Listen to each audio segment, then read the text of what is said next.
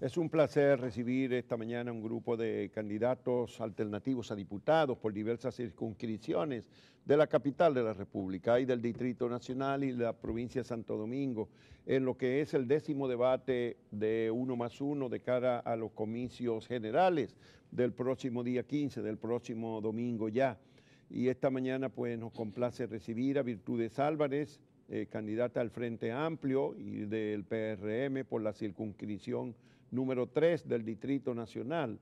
Eh, Virtudes Álvarez es una persona ya conocida en la política, aunque no ha sido legisladora ni, alcalde, ni, pero bueno, eh, es una dirigente con, con, algún tiempo militando en los movimientos sociales, psicóloga clínica y activista social y política.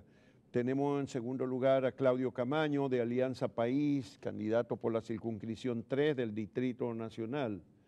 Eh, no, perdón, de la provincia, ¿verdad? Provincia, Santo Domingo, Claudio Camaño, provincia Santo Domingo. Y Claudio es un activista social, agrónomo, maestro, dirigente de Alianza País que lo postula. Elín Rosario, de Alianza por la Democracia, en la circunscripción número 3. Esta sí es del Distrito Nacional. Distrito Nacional. Eh, Elín el INE es eh, mercadóloga y presidenta de la Fundación Acción Solidaria. Después tenemos en el mismo orden a José Laluz, del Partido de la Liberación Dominicana, candidato por la circunscripción 1 del Distrito Nacional. Y José Laluz es un comunicador, miembro del Comité Central del PLD y vicesecretario de Comunicaciones de esa organización. Y entonces tenemos a Gloria Reyes, que es del partido, candidata del Partido Revolucionario Moderno, circunscripción 5, provincia Santo Domingo, licenciada en Derecho con posgrado en Ciencias Políticas en la Universidad Católica de Santo Domingo. Finalmente, Andrés L. Mateo, escritor, filólogo, educador, crítico literario, ensayista y articulista de los periódicos dominicanos. Muchas gracias a todos y todas ustedes por su participación y haber aceptado nuestra invitación.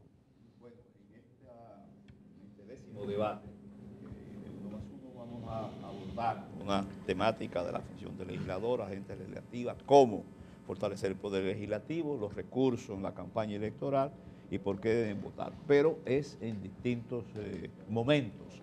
Vamos a empezar con Virtudes eh, Álvarez que nos va a hablar precisamente de, en esta primera ronda, la función del legislador. ¿Cómo se entiende que debe ser la función de un legislador, en este caso, diputado o diputada? Diputada. Gracias, gracias a uno más uno por esta oportunidad interesantísima. Eh, tiene uno que hacer el contraste cuando escucha el planteamiento del tema de lo que dice la Constitución de la República sobre las funciones del legislador y lo que tradicionalmente uno se encuentra en el barrio, en la comunidad, en el pueblo, con la función del legislador. Debería haber un cursillito en el Congreso Nacional cuando son electos para recordarle cuáles son sus funciones. Legislar, es decir, hacer leyes, controlar, fiscalizar. Fiscalizar todo lo que es y legislar, fiscalizar y controlar lo de legislar creo que técnicamente no necesita explicación. Eh, la formulación, la necesidad, es importante insistir en esto, la necesidad de que los y las electas en cada proceso electoral para ambas cámaras asuman con responsabilidad, tengan conciencia de cuál es el curso y qué es lo que necesita para modernizar y eficientizar la democracia dominicana, el marco jurídico de la nación dominicana qué necesitamos como proyecto nacional y de manera muy particular en el territorio donde ese diputado o esa diputada o senador o senadora ha sido electo. Por caso particular, Virtudes Álvarez, si voy a ser electa el próximo 15 de mayo, no soy diputada de la circunscripción 3, electa ahí por diputada de la República, pero además sentir, difundir, construir que los votantes y las votantes de la circunscripción 3 sepan que tienen una congresista que va a legislar en manera concreta para esos 19 barrios, porque se lo preguntan a uno en la campaña electoral. Y si yo voto por usted, doña Virtude, como me dicen, doña Virtude, si yo voto por usted, mi circunscripción, ¿qué gana? Entonces ese es otro tema que está en el, en el próximo bloque. Pero lo del control y lo de la fiscalización es interesantísimo, porque tenemos un candidato presidente reeleccionista que ha dicho que quiere un congreso para él solito. El congreso no es de la república, es el sello gomígrafo del presidente de la república con todo su gabinete.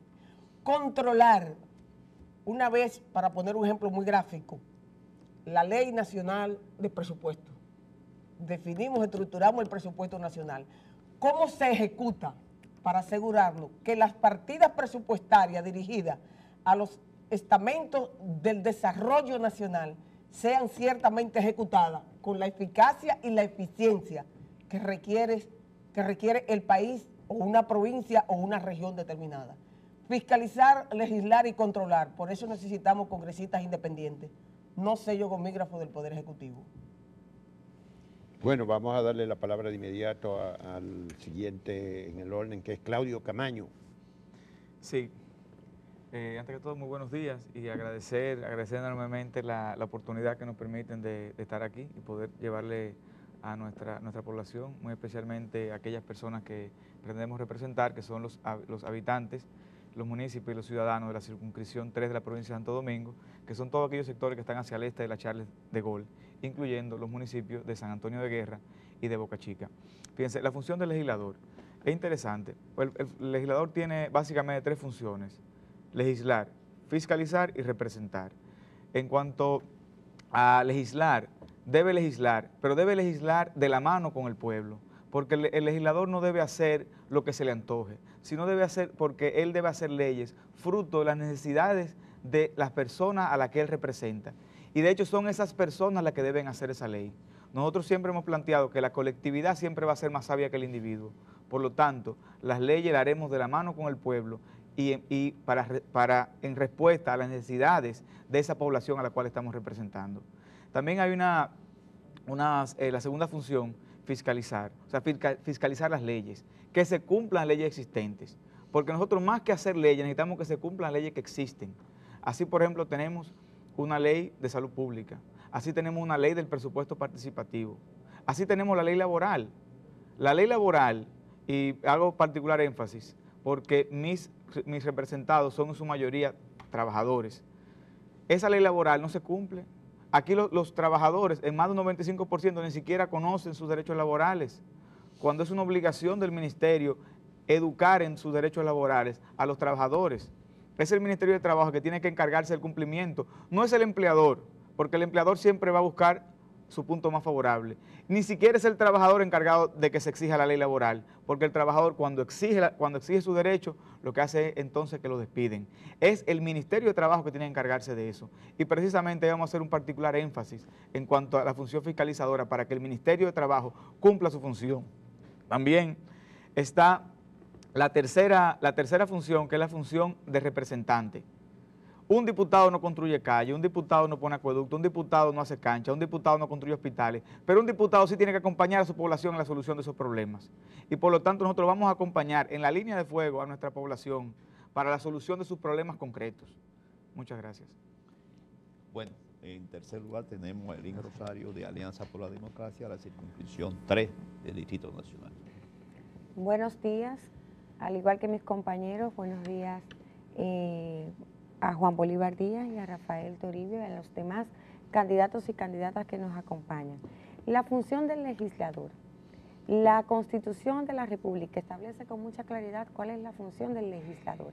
Y creo que verdaderamente en la actualidad los legisladores que hemos tenido en las diferentes demarcaciones han estado de una forma u otra más desvirtuados de lo que tiene que hacer un legislador, sobre todo con el tema del clientelismo político, a lo que tiene que hacer según la Constitución de la República. Legislar, fiscalizar y representar. Legislar, crear las leyes, pero yo creo que estas leyes deben de ir acompañadas de las condiciones que demanda el pueblo dominicano.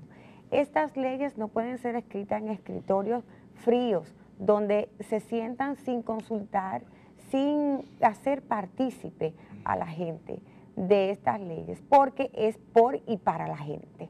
El fiscalizar, justamente, eh, poner empeño de eh, que el gobierno central, que es el que aplica esas leyes, la aplique y la aplique bien, las existentes. Y voy a ir, por ejemplo, a una ley simple pero importante, la ley de la violencia contra la mujer. Esta ley, que es bastante clara, pero es para nosotros es chocante cuando una mujer va a poner una denuncia y en un destacamento el policía le dice que tiene que venir al otro día si son las 5 de la tarde. Cuando esa mujer está en peligro de ser abusada. Entonces, eh, en este destacamento, esta mujer no se va a su casa con la incertidumbre de si podrá o será violentada por la persona a la que está acusada. Cuando va a la fiscalía o cuando va donde le corresponde, la, la, eh, eh, la, cita, la cita para su abusador es enviada por ella misma. Entonces, al riesgo que pone esta mujer. Entonces, definitivamente, poniendo un ejemplo sencillo, las leyes deben de ser bien aplicadas y el Congreso tiene que fiscalizar a que se cumpla. La, lo de la representar, la representatividad del legislador, y yo como regidora he sabido bien representar, porque nosotros tenemos que, eh, ser parte de esa población a la que nosotros hemos decidido representar y hacerlo conjuntamente con ellos. Eh, nosotros hemos tenido nuestra oficina en la demarcación que representamos y desde ahí hemos representado a la gente y seguiremos representarla, representándola desde el Congreso de la República. José Laluz, por el Partido de la Liberación Dominicana, candidato a diputado en la circunscripción 1 del Distrito Nacional. Bueno, gracias a ustedes por abrir este espacio de debate que solamente consideran los, los cargos, los títulos y no las propuestas, ¿no? No hemos tenido mucho espacio para, proponer, para presentar nuestras propuestas, que es nuestra fortaleza y entonces decir que las atribuciones de un legislador están establecidas en los artículos 83 y 93 de la Constitución respectivamente. En el caso de esas atribuciones se concentran en la, en, la, en la atribución de legislar, de controlar y de fiscalizar. En materia de legislación nosotros tenemos cuatro propuestas fundamentales basadas en nuestra, en nuestra método de trabajo de liderazgo responsable, las cuatro, en nuestros principios y nuestro método de aplicación que eh, ya estamos promoviendo en el país. La primera de esas iniciativas se llama gobierno electrónico. Nosotros entendemos que toda la información pública que se genere debe estar montada en un data center nacional creado por ley, por un marco legal que obligue a las instituciones públicas y privadas a eh, montar en una, en una plataforma nacional toda la información que se genere de interés para la sociedad. Esa es la primera propuesta. Está inspirada en un planteamiento de Hernando de Soto, un economista peruano, y su libro El misterio del capital, donde él dice que cuando hay un sistema de información organizado, las instituciones mejoran cualitativamente y nosotros estamos totalmente de acuerdo con eso. La segunda propuesta nuestra se llama seguridad perimetral partiendo del mismo modelo de gobierno electrónico, nosotros entendemos que el modelo actual de seguridad está desbordado. La policía eh, fue creada por la dictadura y, fue continuada durante la Guerra Fría, ya eso no existe hace 26 años. Los principales fenómenos de delincuencia son de delincuencia marginal, de delincuencia común, son nativos, nacieron del 1990 para acá y hay que enfocarlos con, con una visión nueva y nosotros tenemos una propuesta basada en cuatro módulos. División de perímetro, eh, vigilamos el entorno de los barrios eh, y de las comunidades, eh, modelo de gestión de mesa de gestión de seguridad, módulo de gobierno electrónico y, y, financiamiento dedicado. La tercera propuesta se llama botón de pánico, ya está diseñada, la diseñamos nosotros con unas muchachas de Intec para enfrentar la violencia de género sobre tecnología e información. Y la cuarta, que es un poco controversial, se llama Ley de Revisión de Patrimonio, basada también en un algoritmo informático para, eh, para, estudiar la información de los contribuyentes al fisco, compararlo con su patrimonio y poder entonces eh, hacerle revisión a las diferencias relevantes entre patrimonio y, presentaciones a la renta. Esas son básicamente nuestras cuatro propuestas. Gloria Reyes, del Partido Revolucionario Moderno, ¿qué nos tiene que decir? Bueno, muy buenos días. Muchas gracias, don Juan Bolívar, don Rafael, por permitirnos a candidatos alternativos presentar nuestras propuestas, sobre todo en esta coyuntura política donde se ha hecho tan difícil para muchos candidatos tener la oportunidad de que la gente conozca esas propuestas y esas ideas de cambio que en este certamen electoral, sobre todo cuando se hace tan importante para fortalecer la democracia, el debate y el intercambio de ideas.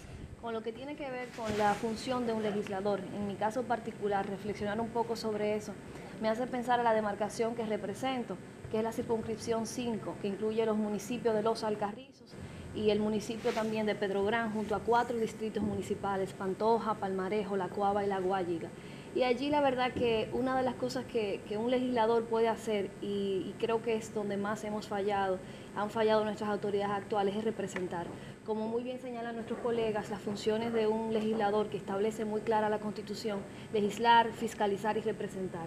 Pero yo quiero hacer un poquito más de énfasis en representar, porque yo a diario me, me traslado a tantas comunidades tan empobrecidas que la gente lo que quiere es que, les, alguien hable por ellos. Cuando yo vengo a un medio de comunicación y las personas me ven, me dicen, Gloria, tú eres la única que está hablando por nosotros, tú eres la única que vemos denunciando las cosas que están pasando. Yo siempre hablo de comunidades como La Cuava, La Guayiga, donde al día de hoy hay lugares que nunca han tenido agua potable. ¿Y qué está pasando? ¿Cuál es, ¿Cuál es ese trabajo que los legisladores de nuestra circunscripción, que son cinco, están haciendo para denunciar, para hablar, para ser parte junto a la comunidad? De esas luchas, de ese frente de lucha que hablaba Claudio, porque el, votante, y aunque uno tiene como legislador la función de, trabajar a nivel nacional, tiene que hacer un énfasis específico en lo que es su demarcación, porque ahí es donde la gente te vota y ahí es que la gente te da la confianza de que te permita a ti hablar por ellos. Y es precisamente parte de nuestro compromiso, lo hemos estado planteando en nuestras propuestas, lo hemos estado difundiendo en las redes sociales. Nosotros queremos ir al Congreso a que la gente pueda, pueda sentirse representada directamente por una candidata, por una diputada en ese momento que está con la gente. Y por eso hablamos de esas asambleas ciudadanas que son tan importantes porque como decía él, la, la función del diputado cuando representa en un cuarto frío, cuando no tiene la oportunidad de mantener el contacto con la gente, pues entonces, ¿qué vas a representar? Nosotros entendemos que, es necesario y es neurálgico que los legisladores mantengan un contacto directo con la gente. Por eso hablamos de estas asambleas legislativas ciudadanas, donde podemos hablar y escuchar a las asociaciones, a los clubes deportivos, a las juntas de vecinos, a todos esos grupos organizados que se encuentran en nuestra demarcación, para que nosotros podamos ser un ente intermediador de esas preocupaciones, esas problemáticas en cada uno de esos sectores. Escritor Andrés L. Mateo, candidato a diputado por la circunscripción 1 en la boleta Alianza País. Muchísimas gracias. Las funciones de legislar, de fiscalizar y de representar no surgieron en el aire. Tienen en esencia en lo que constituye el accionar del Estado la función de contrapeso del poder ejecutivo. ¿Por qué? Porque los cuerpos legislativos surgieron a raíz de la disolución del edicto regio, que era lo que sustentaba la vida de relación social en determinado periodo de la historia. Y ese contrapeso es fundamental para poder entender el funcionamiento de lo que llamamos democracia en la cultura occidental. Desde ese punto de vista, si algo ha faltado en la República Dominicana es la idea de, de la función del legislador. No hay nada más desacreditado en este país que la Cámara de Diputados y que el Senado. No hay nada más infuncional en este país que la Cámara de Diputados y el Senado. Y hay que verlo en las leyes sustantivas que se han discutido en los últimos años en este país, el papel roscamboleco, roscamboleco que han hecho ellos, por ejemplo, con relación a la, a la, al contrato minero, o en relación a cualquier otro eh, contrato de importancia que tenga que ver fundamentalmente con la defensa de los bienes públicos. Esa función es fundamental porque hace el contrapeso del Poder Ejecutivo. Y lo que hemos vivido aquí es una ausencia completa de el poder legislativo, que es el primer poder de la nación. Y por lo tanto, lo que tenemos que hacer es elevar como función del Parlamento Dominicano ese poder de contrapeso ante el poder absoluto que tiene en este país el poder ejecutivo. Nosotros vivimos prácticamente en una sociedad donde los otros poderes son formales, son poderes que están subordinados al poder ejecutivo. Y esa realidad ha hecho que el Parlamento, que la Cámara de Diputados, que los senadores, ¿en qué se convierten? En agentes sociales, en correa de transmisión de las deficiencias que el aparato del Estado tiene. Usted oye, por ejemplo, eh, los spots de los diputados oficialistas particularmente que se quieren reelegir. ¿Y de qué hablan?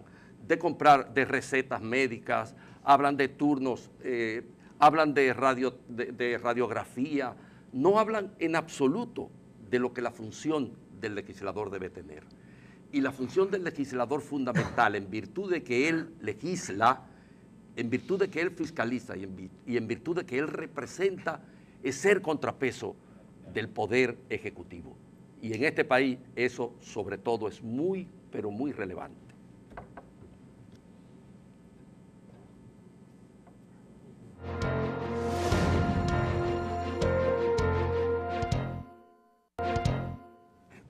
Vamos a darle paso a la segunda ronda. De inmediato vamos a conversar sobre la agenda legislativa. ¿Qué, ¿Cuáles son las prioridades legislativas de cada uno de ustedes? Y comenzamos ahora con Claudio Camaño, quien es el candidato por la circunscripción número 3 de la provincia de Santo Domingo de Alianza País.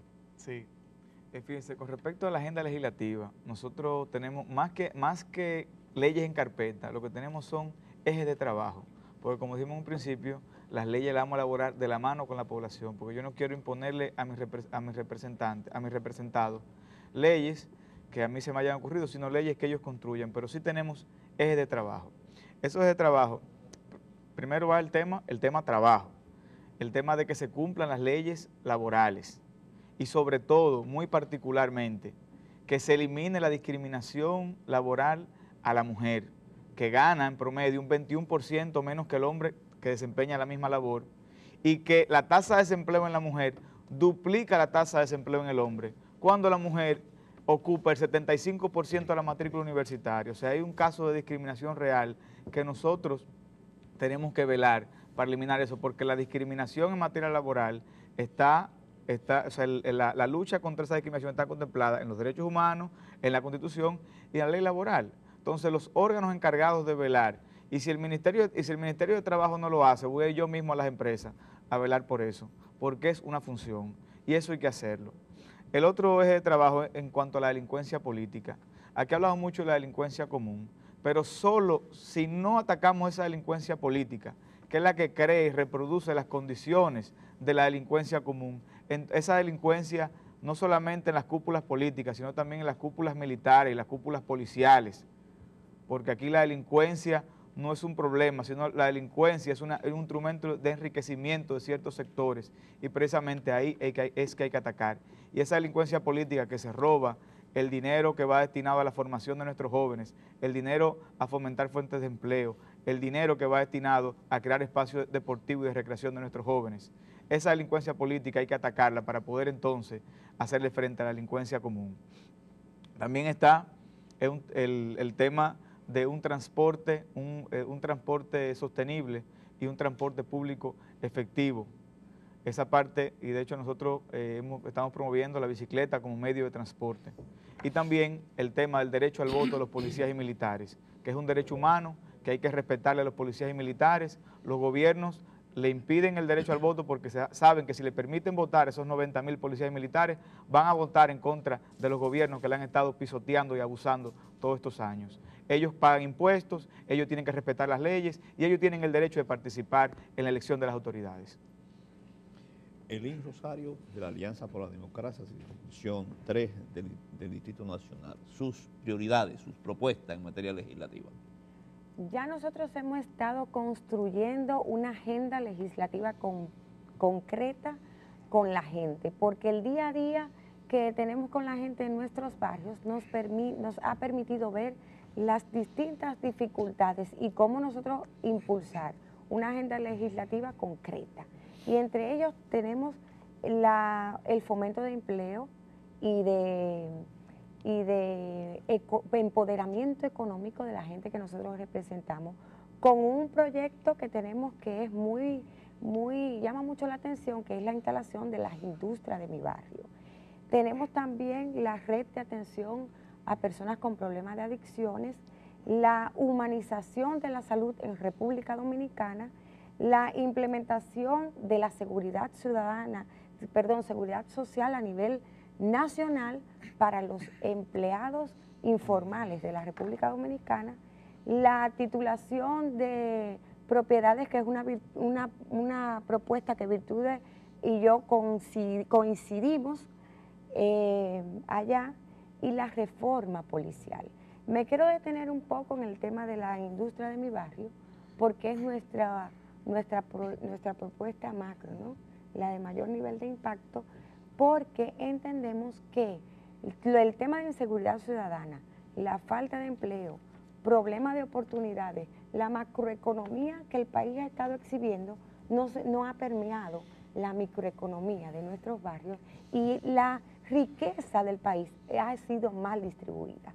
Con la industria de mi barrio, que nosotros hemos identificado personas en nuestros barrios que tienen facilidades para hacer cosas, iniciativas para hacer cosas, pero además de eso, que desde nuestros liceos los jóvenes tengan la eh, preparación técnica para poder desarrollar e implementar conocimiento para hacer fomentar el primer empleo y para las mujeres madres solteras. Estas industrias se instalarán de manera formal ¿eh? en nuestros barrios y con acompañamiento del gobierno central de inversión eh, de capital eh, de capital nacional y también con participación directa de los empleados, donde al final de cada periodo parte de esos beneficios serán distribuidos también para los empleados donde la gente tenga, eh, pueda, pueda decir, bueno, yo tengo un inicial para sacar un apartamento o tengo el capital para sacar un carro y pueda exhibir otro mecanismo de, de poder adquisitivo, ¿no? Podamos desarrollar poder adquisitivo en la República Dominicana y fomentar miles de empleos. Bueno, mi partido, el Partido de la Liberación Dominicana, el cual yo represento, aquí aspiro a representar en el Congreso, ha tenido dos ciclos históricos, tiene 42 años de edad. El primer ciclo histórico de 20 años, el que yo defino como el ciclo de la construcción, lo encabezó el profesor Juan Bosch. El segundo ciclo histórico está en proceso todavía, lo han encabezado Leonel Fernández y Danilo Medina. Nosotros estamos viendo el futuro del PLD y estamos tratando de construir una propuesta política que define el tercer ciclo histórico del PLD. Nosotros le hemos llamado liderazgo responsable. Es esta que está aquí que tenemos, estos son sus fundamentos y estos fundamentos tienen un método de aplicación basado en información, tecnología, eficiencia, transparencia y autoridad. A partir de 1990, cuando se cae el muro de Berlín, se configura una sociedad nueva. Esa sociedad nueva que nosotros definimos como sociedad web es la contraportada de nuestra propuesta que está aquí. Entonces nosotros entendemos que para poder ser eficientes dentro, en el contexto de esta nueva sociedad tenemos que cambiar la forma de hacer política. Por eso las cuatro propuestas que le estamos presentando al electorado en este panel, las cuatro están basadas en el mismo método de trabajo. Ahorita las mencionamos y ahora vamos a hacer énfasis en la primera, en el gobierno electrónico. Nosotros entendemos que el gobierno electrónico debió empezar a implementarse en 1990 cuando se cayó el muro y la Internet se liberó para uso de la economía y de la sociedad.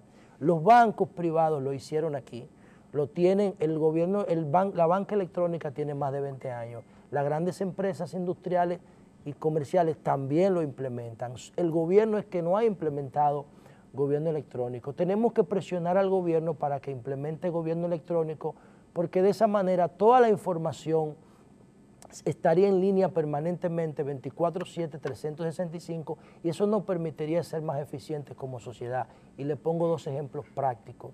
Si una persona necesita un récord de nota en Puerto Plata, tiene que pagar dos mil pesos de autobús para venir a buscarlo aquí. Cuando esa información es de esa persona. Si tuviésemos gobierno electrónico, entraría la capa de educación con su ID, con su nombre, con su cédula, como quiera, y pudiera compartir esa información, pudiera imprimirla, pudiera revisarla sin ningún problema. Si un inversionista extranjero quisiera comprar un inmueble en República Dominicana desde Alemania, desde España desde París, solamente con consultar la capa eh, inmobiliaria de nuestro gobierno electrónico pudiera tomar una decisión sin necesidad incluso de ver el inmueble. Así pudiéramos tomar mejores decisiones, fuéramos más eficientes y también pudiéramos eh, enfrentar con mayor éxito la transparencia, pudiéramos eh, enfrentar la corrupción porque toda la información electrónica, todas las informaciones electrónicas dejan rastro y se puede actuar en consecuencia. Gloria, Reyes, candidata eh, del Partido eh, Revolucionario Moderno en la circunscripción número 3 de la provincia. De la número 5. 5 de la provincia de Santo Domingo. Circunscripción 5. Con relación a nuestra agenda legislativa, nosotros hemos eh, hecho una consulta por varios meses a las comunidades que representamos y hemos elaborado una agenda que tiene varios ejes y de manera específica por un lado está la parte de lo que van a ser esas iniciativas legislativas y por otro lado están los compromisos que nosotros como futura legisladora vamos a asumir con nuestra, con nuestra ciudadanía y con las personas que representamos. Con relación a esos compromisos hemos establecido que estaremos comunicando a cada uno de, de nuevos ciudadanos cuáles son las razones o motivos por las cuales hemos votado a favor o en contra de cualquier proyecto legislativo, para que la gente sepa y para que la gente pueda entender qué motivos hacen que nosotros em, eh, aprobemos o no uno de los proyectos que se presentan en el Congreso Nacional. También estamos comprometidos con que anualmente haremos un informe de nuestra gestión que utilizaremos las redes sociales, los medios de comunicación para que la gente tenga un contacto directo con lo que nosotros estamos haciendo y que se sientan realmente representados. Con relación a lo que tiene que ver con las iniciativas que impulsaremos, las hemos dividido en tres ejes específicos, uno que tiene que ver con lo que es la creación de empleos y, de, generación de trabajo, sobre todo en mi demarcación, en el municipio de Pedro Brán, que tenemos un potencial impresionante de lo que es el desarrollo del turismo ecológico y, por qué no decirlo, en un país donde el turismo es uno de los principales fuentes de ingreso para nuestro país, nosotros creemos que ya no solamente debemos hablar de Punta Cana, de Jarabacoa, de Puerto Plata, de Samaná, que tan cerca de la ciudad de Santo Domingo tenemos todo el potencial en una zona hermosa, con grandes recursos naturales, con montañas, con ríos, con todas las condiciones para que se genere este nuevo polo turístico ecológico tan cerquita de la capital a solo 25 minutos y que esto pueda impactar de manera muy positiva el desarrollo económico social de toda esa circunscripción, porque incluso los Alcarrizos, que es uno de los municipios que está cerquita de, Pedro Brán, puede beneficiarse de la creación de empleos. Y también otro de los temas relacionados con la creación de empleo tiene que ver con lo que son las pequeñas y medianas empresas y sobre todo las la microfinanzas en el área de, de, los Alcarrizos, donde tenemos tanto potencial con gente emprendedora que trabaja y que si le damos la oportunidad de que puedan tener las herramientas en sus manos para desarrollar pequeños emprendimientos, pues estaremos generando no solamente empleo, sino oportunidades de trabajo para la gente. El otro eje tiene que ver con el con género y es el, caso de todas las trabajadoras y trabajadores domésticos. Nosotros estamos comprometidos con luchar porque se reivindiquen los derechos de las mujeres que se dedican años a trabajar en, en un hogar y que se van a su casa después de 20 o 30 años con las manos vacías. Entendemos que eso no puede seguir así y queremos luchar para que esta, se establezca un sistema de protección del trabajo doméstico que les dé una seguridad social y también seguro de salud. Andrés de la Mateo, ¿qué nos puede decir sobre las necesidades del país en materia legislativa y su propuesta? Nosotros, como señalaba Claudio, hemos trabajado también con los ejes de, de trabajo. Hemos configurado ejes de trabajo, dentro de los cuales hay una enorme cantidad de temas, casi 49 temas tenemos allí, que están eh, resumidos en atención a la juventud, aspectos de carácter tecnológico, eh, disfrute estético, es muy importante estimular el disfrute estético en nuestro país, eh, la política de empleo en relación con los jóvenes. Es curioso, en este país no existe una política de empleo en relación con el primer empleo. Y la juventud dominicana, que es un porcentaje bastante alto, padece de una enorme indefensión. La búsqueda del empleo es un verdadero desgarramiento existencial en este país. En la educación, los aspectos educativos son eh, fundamentales. La gente piensa que en la República Dominicana un legislador no tiene que hacer nada en relación con los sistemas educativos, pero aquí no hay un sistema educativo, aquí hay dos. Y por ejemplo, si las leyes hubieran previsto la equidad educativa en los términos en que el legislador debe producir leyes, se hubiera reservado del 4% una enorme cantidad para la educación que va de 0 a 5 años, porque ese es el costado de la inequidad en la República Dominicana más concreto y más rotundo. Aquí más del 89% del sistema educativo público, porque hay un sistema educativo privado, tiene, eh, tiene participación ya eh, en el sistema. Es decir, los jóvenes, los niños de 0 a 5 años están en el 89% fuera del sistema. En cambio, en lo que respecta a la clase media, a los pobres, a los ricos, eso está en un 100% en el sistema, que son el 12% aproximadamente. La equidad educativa es una función legislativa fundamental en este país en este momento, porque el 4% se va a diluir en agua de borraja y no va a haber ninguna posibilidad la democratización tecnológica. La LU hacía referencia aquí al nuevo lenguaje de la tecnología en el mundo contemporáneo. Pero eso pasa por un proceso de subsanar todas las desigualdades previas que la sociedad analógica arrastra consigo. Y en consecuencia hay que democratizar el disfrute de la tecnología, en el sentido en que esta es liberadora, en el sentido en que puede propiciar la mejoría de los servicios, en el sentido en que puede participar la tecnología de un mejor nivel del bienestar económico y social de la sociedad. Y la fiscalización presupuestaria, que es un verdadero relajo en la República Dominicana, y la corrupción, por supuesto. Pero lo de la fiscalización presupuestaria tiene mucho que ver porque el presupuesto es una ley y en la República Dominicana no se toma en cuenta que es una ley y el Poder Ejecutivo e incluso la propia Cámara de Diputados hace lo que le da la gana en materia de estructuras presupuestarias. Virtudes Álvarez tiene la, cierra esta, esta segunda ronda. Virtudes candidata por la circunscripción 3 del Distrito Nacional del Frente Amplio. Gracias. Aquí están resumidas las siete propuestas fundamentales de nuestra agenda congresional. Y en relación con mis votantes, los que me van a elegir el próximo domingo como diputada, quiero comenzar por ahí. El compromiso ratificado de un proyecto de ley construido durante años en luchas con las organizaciones sociales y populares de la circunscripción 3 y de todo el Gran Santo Domingo y nacional incluso, es una nueva ley de vivienda y hábitat que resuelva la tragedia por la que atraviesa la familia dominicana cuando no es dueña de un techo, de una vivienda. Una vivienda no son cuatro paredes y una cobija. Es eso y mucho más. Es un barrio productivo, es un barrio seguro. Y no el barrio seguro aquel. Un barrio productivo, un barrio seguro, un entorno, un hábitat, con infraestructura de servicio eficiente, energía eléctrica, comunicación, agua, saneamiento. Y en ese mismo contexto, lograr una propuesta que me alegra mucho compartirla con el IN, que además vamos a hacer un bloque de mujeres en la Cámara de Diputados, en la circunscripción 3, es la titularidad de las viviendas de más de 17 mil familias, yo siempre digo mal contadas, que hay en, el, en la circunscripción 3, que no tienen título de propiedad, a pesar de que son propietarios y viven ahí durante más de 70 años con unos terrenos que son reclamados por la familia Vicini. Reclamar y lograr una legislación que dé título de propiedad a quienes son dueños de esa vivienda. Todo el mundo sabe lo que significa tener una vivienda sin papeles, como se dice popularmente en el barrio.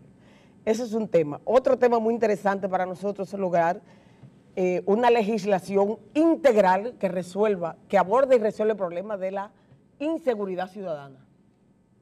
Y que comience por arriba, porque no se dañan por abajo los pueblos.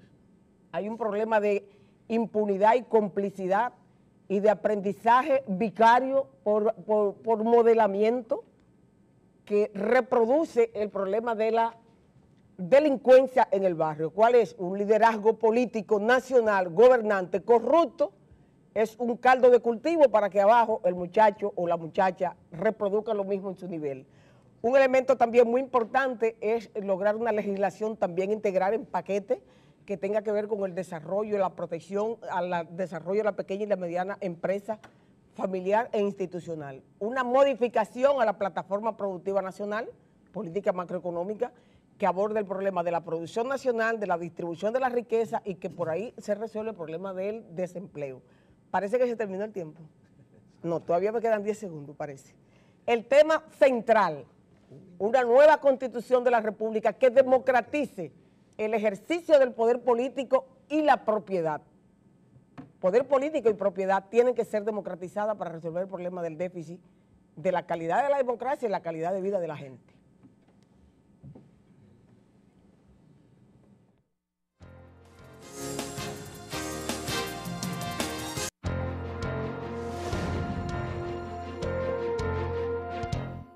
vamos a una ronda que pueden rebatir de un minuto cada uno, pero también le vamos a formular algunas de las preguntas que han estado enviando los televidentes. Por ejemplo, Radamés Ventura a Claudio Camaño, ¿cuál sería su posición ante una eventual modificación del Código Laboral?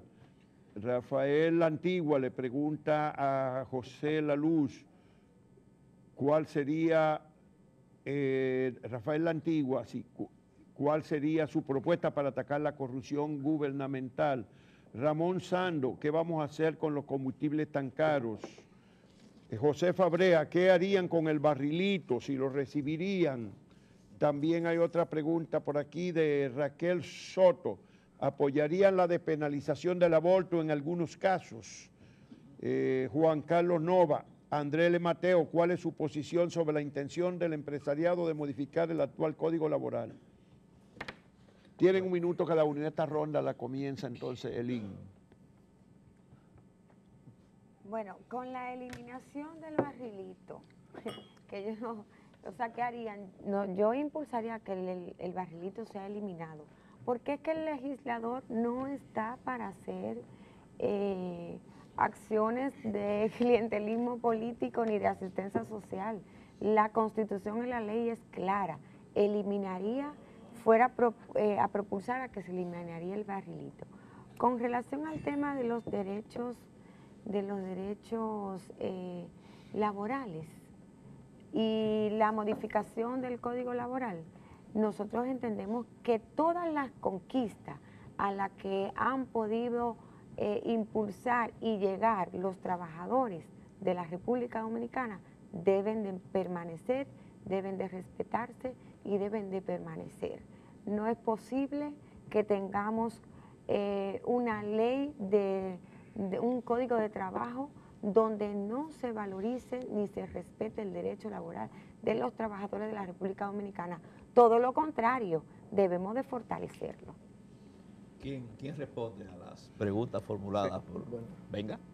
Eh, no, con respecto a la eliminación... José La Luz. Ah, perdón, bueno, dale, José. Con, relación a la, con relación a que los tiene también una pregunta específica. Con relación a los privilegios de los legisladores, las exoneraciones, el barrilito y todas esas cosas, yo pienso que respetando nuestra tercera herramienta, el método de trabajo, que es la eficiencia, ningún país que se respete exonera el lujo. Todos los vehículos de lujo que hay en República Dominicana, Bentley, Lamborghini, Ferrari, Rolls Royce, Porsche GT, todo eso son, eh, ingresan al país con exoneraciones de legisladores. Eso es un abuso y un absurdo. Yo públicamente he reiterado que a mí no me interesa nada de esas cosas, ni barrilito, ni nada de eso. Con relación al tema de la, de la corrupción, que como lo abordamos, es nuestra cuarta propuesta, se llama Ley de Revisión de Patrimonio. El derecho penal es un aliado indirecto de la corrupción por la cantidad de garantismos que se le ha ido incorporando conforme ha pasado el tiempo. A mí lo único que me interesa de el derecho penal es el artículo 34 del Código Procesal Penal que establece los criterios de oportunidad. Lo que nosotros revisamos los patrimonios de las personas en función de la información que declaran ante la renta. Cuando encontremos una diferencia alarmante entre lo que declaran y lo que tienen, lo sometemos a una revisión de patrimonio y le damos la oportunidad de que devuelva al Estado lo que no puede explicar. Esa es fundamentalmente nuestra propuesta. Gloria Reyes, que no quise. Bueno, con relación a lo que planteaban los colegas, que tiene que ver con, esos privilegios que tienen los legisladores, nosotros también nos oponemos rotundamente a esto. Entendemos que ningún funcionario público debe tener ningún privilegio por encima de un ciudadano común. Y por eso eso de las ventas de las exoneraciones, el repartir habichuelas con dulce en, en, en Semana Santa, el estar haciendo regalos, nosotros estamos completamente en desacuerdo con esta práctica y estaremos desde el Congreso pidiéndole a, la, a los legisladores que, que tratemos de eliminar y que nos enfoquemos en esa función prioritaria de legislar, fiscalizar y de representar. Y en lo que tiene que ver con, la, con esa función de mostrar una transparencia en esa gestión, que la gente pueda sentirse que el, el legislador está haciendo de manera directa lo que le toca y lo que manda la Constitución. Por eso nosotros hablamos de que es tan necesario este, este nuevo cambio en la política, sobre todo para nosotros que pertenecemos a una nueva generación de gente joven que se está involucrando, porque con los mismos actores, con las mismas personas haciendo lo mismo no podremos cambiar. Y nosotros estamos apelando a que, a que se cree ese nuevo movimiento. Nosotros somos parte de una cruzada de gente joven que ha decidido involucrarse en la política, que ha puesto a un lado sus trabajos profesionales, su función profesional, para dedicar a la política, para compasión entre, y entrega, ayudar a sus comunidades.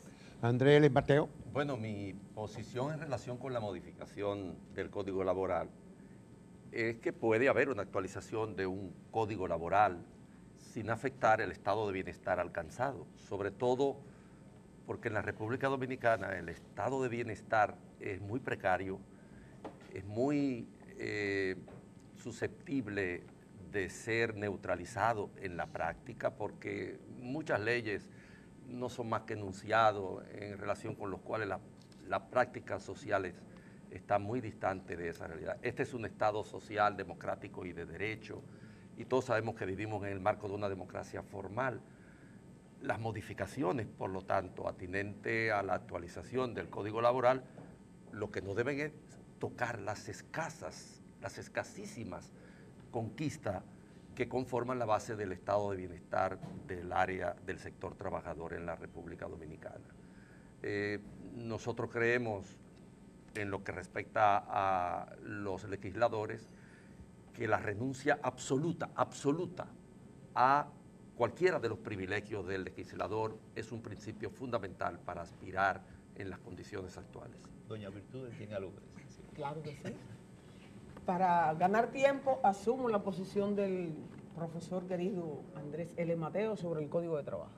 Si va a haber una reforma, tiene que ser para ampliar los derechos de la clase trabajadora. No está en discusión si la licencia de maternidad son 90 días, como ahora, o 45, como quiere un sector del empresariado, por un lado.